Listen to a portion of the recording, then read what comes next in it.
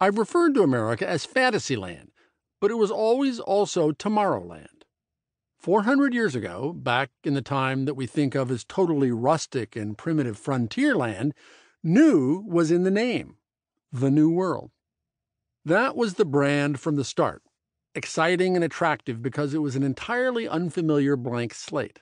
People by the thousands left Europe, abandoning the old world, sailing to the new world to improvise new lives and new ways of life, to invent new identities.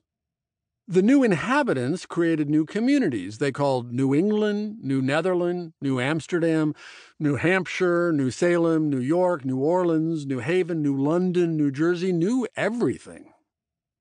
The religion of the newcomers was itself new. Protestantism had existed for less than a century when the English Protestant settlers arrived. The particular sects of the early settlers were all so feverishly new. Puritans, here to build the New Jerusalem, Quakers, Shakers, Mennonites, Amish, Methodists, Baptists, that they required a new place, empty of too many disapproving white people, in which to practice and propagate their peculiar faiths. And then, uniquely in Christendom, Americans proceeded to create and spin off new new religions, massively successful ones, from Mormonism to Christian Science to Pentecostalism to Scientology, as they continue to do. Here in America, we embraced and encouraged, as no other country had before us, a new and different approach to making and selling things entrepreneurialism, whereby almost anybody was unusually free to give any business or religion a go. The discovery of America offered a thousand new paths to fortune, Alexis de Tocqueville wrote after spending most of 1831 crisscrossing the United States, and placed riches and power within the reach of the adventurous and the obscure. The passions which agitate the Americans most deeply are not their political, but their commercial passions. Americans affect a sort of heroism in their manner of trading that the European merchant will always find very difficult to imitate. The young Tocqueville had been dispatched by the French government to the young United States to study its new approaches to incarceration, but he chronicled and marveled at every variety of non European novelty he came across.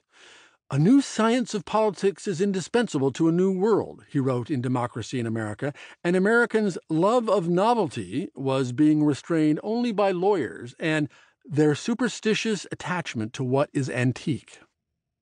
He realized that the American character derived from a self conception of being new and always embracing the new. The inhabitants of the United States are never fettered by the axioms of their profession. They escape from all the prejudices of their present station. They are not more attached to one line of operation than to another. They are not more prone to employ an old method than a new one. They have no rooted habits, and they easily shake off the influence which the habits of other nations might exercise upon their minds from a conviction that their country is unlike any other, and that its situation is without a precedent in the world.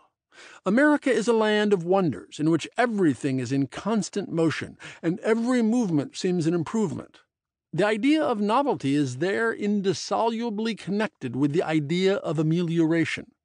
No natural boundary seems to be set to the efforts of man, and what is not yet done is only what he has not yet attempted to do.